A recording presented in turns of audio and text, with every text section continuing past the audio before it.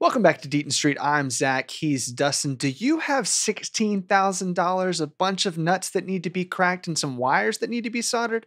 We have the robot just for you. But before we get into that, please consider liking and subscribing. Uh, it helps us out a lot. We are pushing towards 500 subs. Maybe we're there. This is the Friday video. Uh, maybe we're not. If we're not, help us out. If we are, Yeah. also help us out. All right, Dustin, I sent this over to you. This is going to kind of be a free flowing, just reacting to this video thing. Yeah. Uh, there's a $16,000 um, humanoid ro- AI robot out there made by Unitree. Um, Mhm. Let us know a little bit more about it. So it looks like this robot is really just uh, like an AI avatar. Uh, it's supposed to be like a companion robot or like a friend robot thing or something. It looks like it's like kind of like the uh, Boston Dynamics, the the all electric, uh, like free movement, Mhm. rain, like weird creepy robot movement.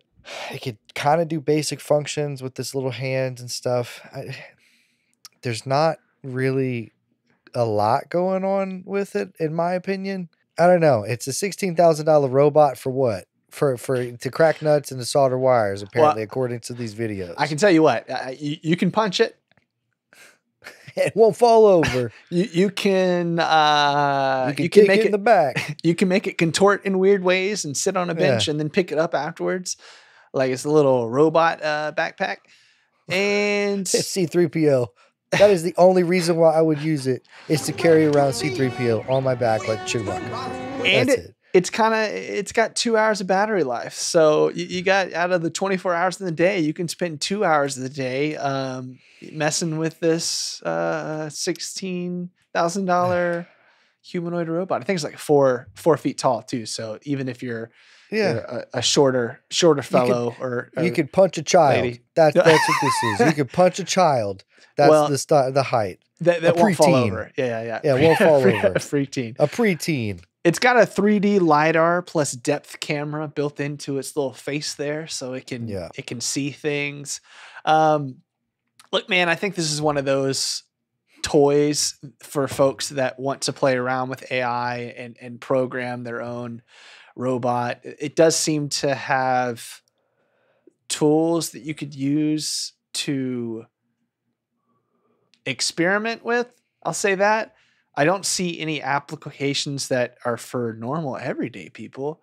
Yeah. Uh, but what, what what do we think here? Are we are we kind of making tech just to make tech at this point? What what's That's going on in the world? Man, that's all it is. This is for the uber rich people who don't know what to do with their money, and this there's a cool robot that's out that it, it, it can it can do things. Uh, That what what are we making these things for? If they would have if so, the thing is, if they would have had like a an example video of like a search and rescue thing, kind of how Right? Yeah. Boston Dynamics is known for. Absolutely. Search and rescue stuff. Cool. I get it. You're using robots instead of humans to, to not endanger them. You know, great. Don't show me a robot cracking walnuts. I think every time that we talk about this robot cracking walnuts, you should have to show the video again. it's just walnuts, man. Like, come on. I I wonder what I, I need to look this up. I'm sorry. I it- it- this is a Friday video. Who cares? Amazon. I um, let's see how much I can buy a walnut walnut crack Walnut cracker. cracking tool. A machine. I can get a machine. A right, machine. I can get an electric nut cracker machine, portable. Sixty bucks. but is it as portable as a folded up Unitree AI robot, though? Probably not, man. So I mean, come on. I think we're kind of making fun of this, and we, we've talked about robotics before Mhm. in the aspect, like you said, of like search and rescue operations. How can we improve humans' lives? Type of deal. Yeah. How can we get humans out of harm's way? I do think there's a really good use case for robotics great application. Yeah. in that field. When I see stuff like this, though, I just I just wonder if folks are just making stuff to make stuff, right? Like It's got to be. It's it's they're they're flexing. They're flexing on the other robotic companies I mean- that like we're we're we're in the territory of what the old show BattleBots. You know, but like this, I don't uh, think what- this thing would know, win, We're gonna have, we're gonna have, yeah, no, the, the Boston Dynamics is gonna freaking smash this one. Uh, like we're what's uh oh not there's another movie uh Chappie or something, and it's like a ro- like humanoid robot fighting ring, fight club essentially yeah. or Alita, Alita Battle Angel. Like there's a ton of movies about this.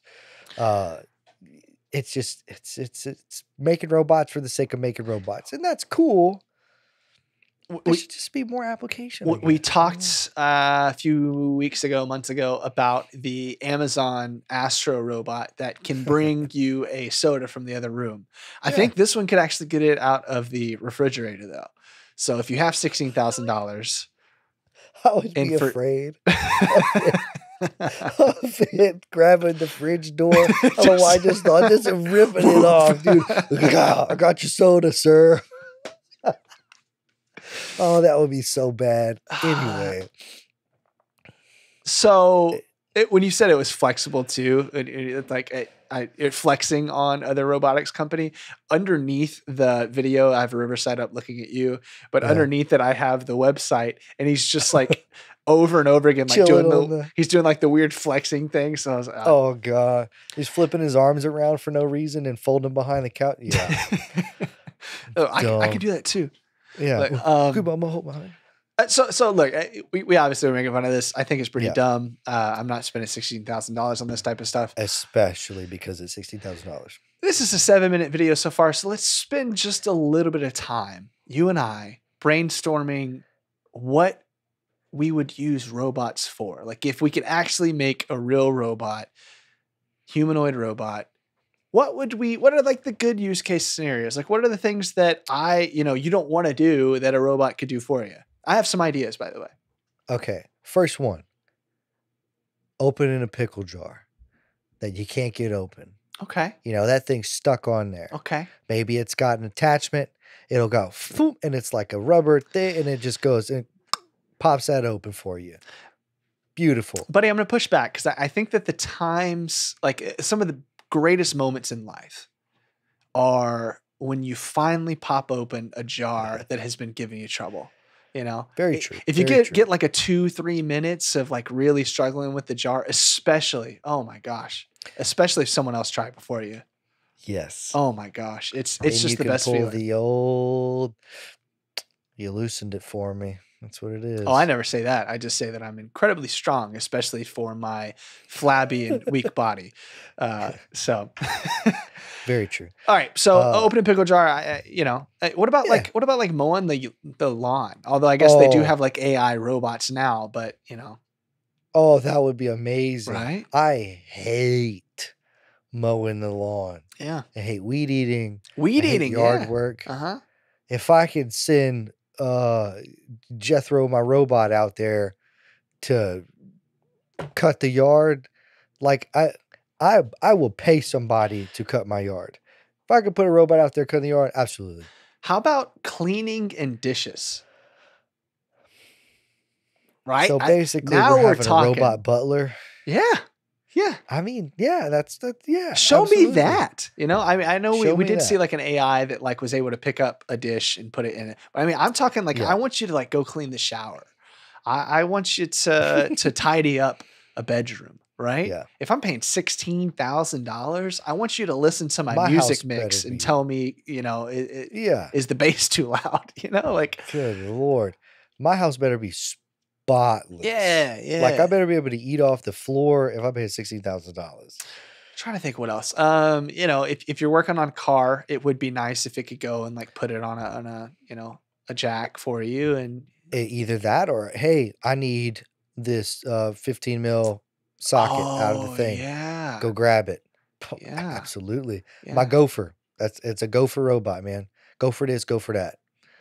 Uh, That's a Louisiana term if I've ever heard. you ain't one. never heard of gopher? No, okay, dude. anyway, We that's a don't, gopher we don't robot, say that man. in Texas, dude. Come on. Uh, What else? What else? Uh, Um, uh, I, you know, I, TV remotes. There, are, I spend way too much time of my life trying to figure out where TV remotes are. Mhm. You know, be like, hey, go rearrange the go find all my TV remotes and put them back to where they're supposed to be, like that type of thing. Uh, I was gonna say do my taxes, but that kind of puts people out of business, like CPAs and stuff. So Yeah. maybe not. yeah, yeah. But uh I don't know, like or you get into the territory if you uh, outside of being a butler or a maid, you get Mhm. into the territory of the taking people's jobs kind of thing because like oh you want to file my taxes well you can probably pay somebody to do that Well, that'll be Uh, like an AI app in yeah, two or three stuff, years, yeah. anyways. You know. Um, trying to think oh this will this will be perfect set up my podcast stuff set up my youtube stuff for me yeah. put my camera on the tripod please yeah. it's in the book sack right there Yeah. turn it on Until Make the sure first time that it picks it up and it goes, "Oops, I crushed." yeah it rips off my fridge door of the camera yeah It can't. No. It, it doesn't like unscrew the lens. It just. rips it off yeah. oh i will be fighting an immovable robot at that point because i could not knock it over Yeah. You can't. You can't knock it over. Can't knock it over. Especially, I loved how he had that huge like boxing glove Big old too. boxing Like, glove. Looked like the the Hulk boxing gloves we had when we were young. You know, why the- and then okay this is kind of criticizing their stuff but why the scrawny dude throwing punches at a metal robot come on man oh no! put a jacked weightlifter up there and try to punch this sucker Show me like you know McGregor or somebody. You know, Yeah. After after a few brewskis, show me McGregor. Try, I bet I get he. Could, okay, that's a good point. Yeah. That, that dude. Uh, we're also scrawny, so I'm not saying. Well, you I'm know, very yeah, scrawny. I would not yeah, try to knock over. yeah. don't put me in the video at all okay, so we poked fun. I, I don't know Yeah. what this is for. I don't know why you would get this, but let's let's move this comment section in another direction if if you don't mind. What do you want a, a robot for? Don't be weird. Don't be weird. I'll block you. I'll mute you if you're weird. You know what I'm oh talking we'll about. turn you off so bad Yeah. But uh, anything else, you can let us know what you would use a robot for. Okay. yeah I got it. Peace. see ya